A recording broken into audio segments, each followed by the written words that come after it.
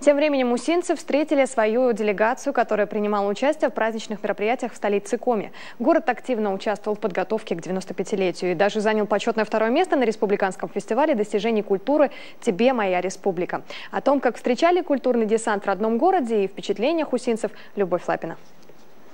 Под аплодисменты и веселые возгласы. Именно так в Усинске встречают творческую делегацию, которая принимала участие в праздновании юбилея Коми. Сами герои, иначе в городе их и не называют, с поезда сходят изрядно уставшими, но довольными. Это артисты, поэты, мастера и рукодельницы. Их выступления, выставки и мастер-классы вызвали большой интерес у участников торжественных событий. Мы работали на Стефановской площади на подворье.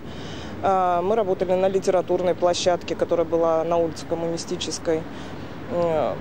Э, очень понравилось все. Э, были замечательные ведущие, а наше подворье, конечно, было вообще особенным.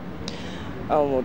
У нас были ребята на ходулях, которые изображали такие нефтяные вышки. Если на других подворьях были представлены декоративно-прикладное коми, то мы представляли, собственно, то, чем мы занимаемся здесь, в Усинске. Это посвящено было больше нефти, э, нефтяной промышленности, у нас стояли замечательные статуи нефтяника и первостроителя, вот, которые просто вызвали ажиотаж публики. Так, работы усинских художников украсили фотогалерею на одной из творческих площадок Сыктывкара, а творческие коллективы Центра национальных культур украсили собой республиканский праздник народного творчества «Шандибан» и фестиваль «Диалог культур». В итоге в копилку культурного десанта Усинска четыре диплома в разных номинациях. Вы знаете, э, одним словом даже не сказать. Сказать, что я в восторге, это, этого будет очень мало.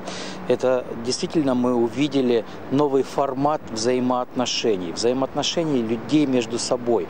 Царила такая э, грандиозно радостная атмосфера единения, что я даже замечал людей, которых давно знаю, всю жизнь бывших оппонентами, они вместе праздновали этот э, грандиозный праздник.